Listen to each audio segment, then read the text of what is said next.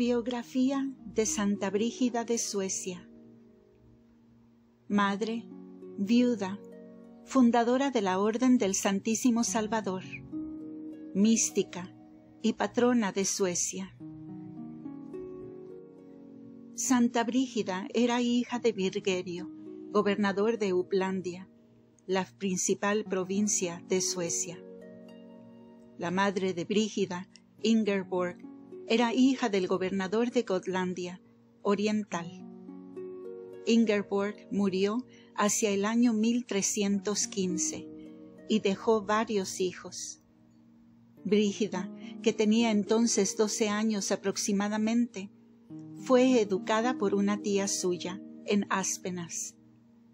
A los tres años hablaba con perfecta claridad, como si fuese una persona mayor, y su bondad y devoción fueron tan precoces como su lenguaje. Sin embargo, la santa confesaba que de joven había sido inclinada al orgullo y a la presunción. A los siete años tuvo una visión de la Reina de los cielos. A los diez, a raíz de un sermón sobre la pasión de Cristo que la impresionó mucho, soñó que veía al Señor clavado en la cruz y oyó estas palabras. Mira en qué estado estoy, hija mía. ¿Quién os ha hecho esto, Señor? preguntó la niña. Y Cristo respondió, los que me desprecian y se burlan de mi amor. Esa visión dejó una huella imborrable en Brígida, y desde entonces la pasión del Señor se convirtió en el centro de su vida espiritual. Antes de cumplir catorce años, la joven contrajo matrimonio con Ulf Gudmarsson, quien era cuatro años mayor que ella. Dios les concedió veintiocho años de felicidad matrimonial. Tuvieron cuatro hijos y cuatro hijas, una de las cuales es venerada con el nombre de Santa Catalina de Suecia. Durante algunos años, Brígida llevó la vida de la época, como una señora feudal en las posesiones de su esposo en Ulfasa, con la diferencia de que cultivaba la amistad de los hombres sabios y virtuosos.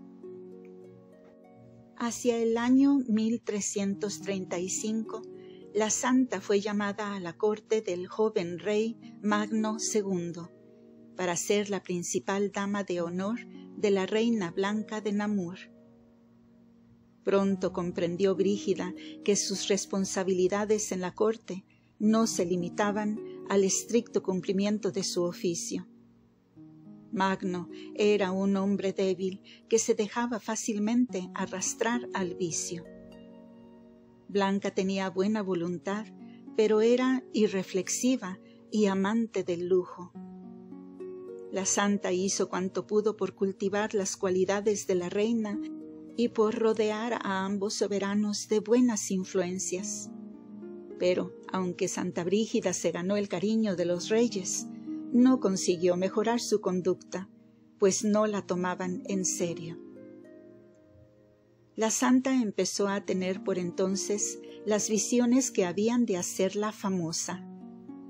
Estas versaban sobre las más diversas materias, desde la necesidad de lavarse hasta los términos del Tratado de Paz entre Francia e Inglaterra. Si el rey de Inglaterra no firma la paz, decía, no tendrá éxito en ninguna de sus empresas y acabará por salir del reino y dejar a sus hijos en la tribulación y la angustia. Pero tales visiones no impresionaban a los cortesanos suecos, quienes solían preguntar con ironía, ¿Qué soñó doña Brígida anoche?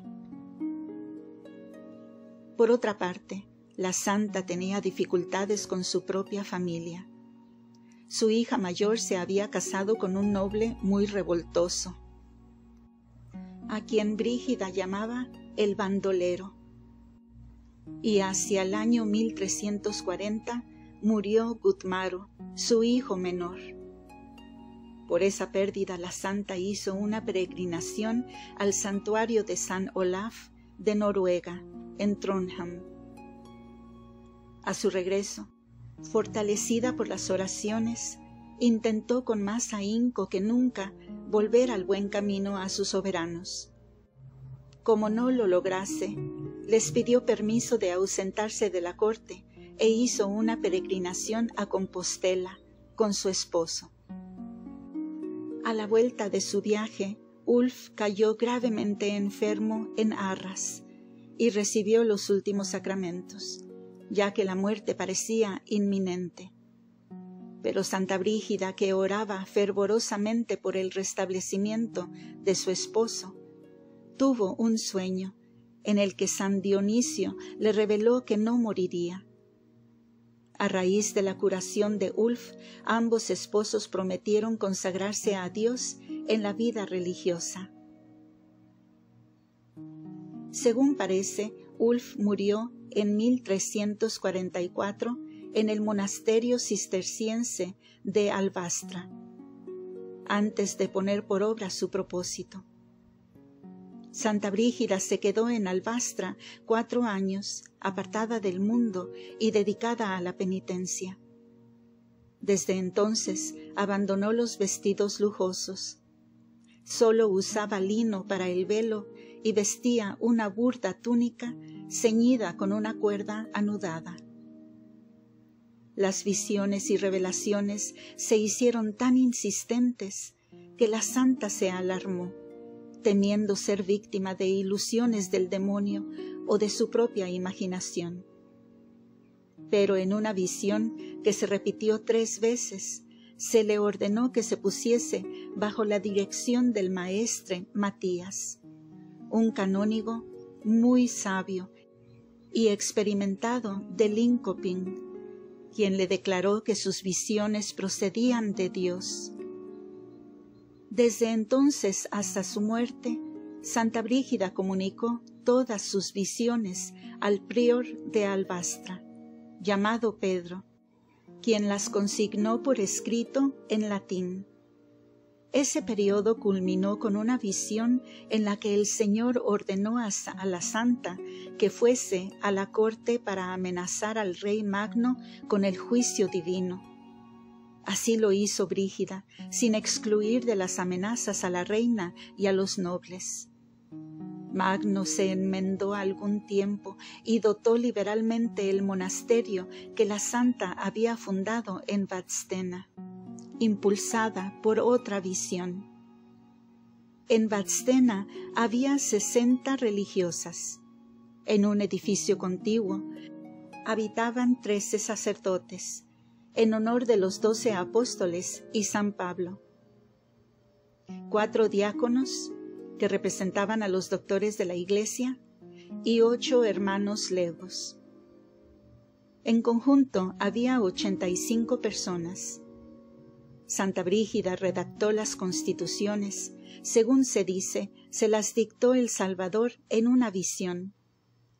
Pero ni Bonifacio IX, con la bula de canonización, ni Martín V, que ratificó los privilegios de la abadía de Sion y confirmó la canonización, mencionan ese hecho y sólo hablan de la aprobación de la regla por la Santa Sede, sin hacer referencia a ninguna revelación privada.